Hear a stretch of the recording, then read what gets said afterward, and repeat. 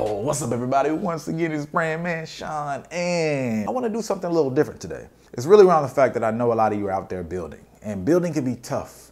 You take a lot of losses, you have a lot of setbacks, and those L's can hurt. And sometimes your energy gets off, and that's one of the most important things when we talk about building something for ourselves. I've been there, done that, and still working on doing that. And if you're working and you're building something yourself, you need quite a bit of energy. or energy needs to be in the right place because you're building something that isn't necessarily there versus following a path where you really just need to go through the motions. And if you don't have your energy in the right place, one thing that I typically do, I'm actually in the middle of it right now, I call a 100 day sprint.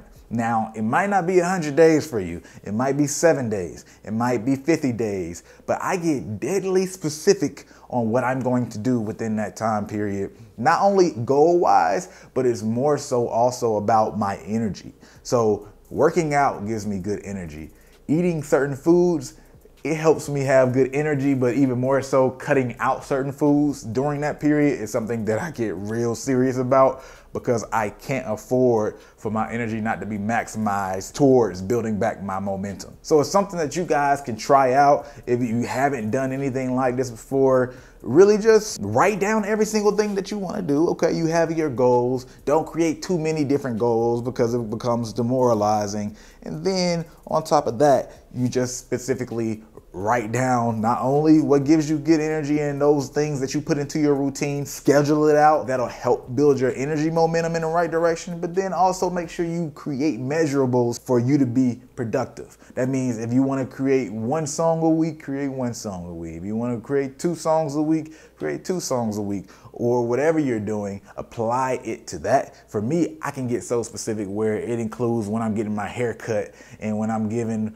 myself like a serious shave. I just get very, very specific about it. But we all have our own ways. So I would like to know what you guys think and what you do because it might be helpful for somebody else. But even bigger than that, I want you guys to watch this video. I love to share this video with you because it's been inspirational for me in the past. I just like to keep these kind of images in my mind if I ever need that push and that little bit of edge that might be necessary to keep myself going whenever I'm in like a sprint of work.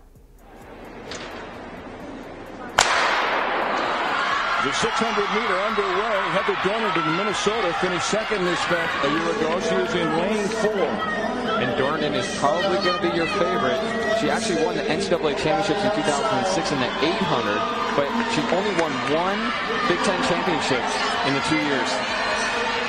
Three laps in this event, 600 meters, three times around the 200 meter track here at the field house. What a bold move by Fawn. She's looking very confident, and the Penn State runner is just running amazing today. She did win her heat in the 400, but ended up taking fourth overall. That's Fawn Dorr moving into the lead, a sophomore from Penn State. Dorniden running second. Dorniden last year scored 23 points for the Golden Gophers in their Big Ten championship. So they're really relying on getting a lot of points from her this weekend. And she's just coming by Fawn Dorr now in the home stretch, heading into the bell lap. Oh, down. Dorniden falling down, gets up quickly, but that's going to cost her. Lucky she wasn't injured. Her teammate just went to the front, though, so they may be able to recover from that.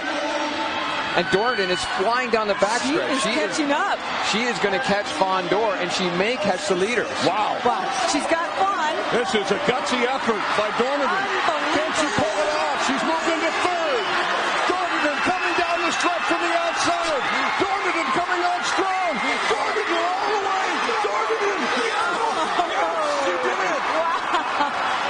Wow. Unbelievable. That is amazing. To, to fall in a 600, I mean, this is basically a sprint. I mean, this is an extended 400, basically. To, to fall with 200 meters to go and get up and win, that is unbelievable. And that's it. Hope that was helpful for you guys. Other than that, if you like this video, go ahead and hit this like button. If you like it, you might as well share it. And if you're not subscribed, you know what to do. Hit that subscribe.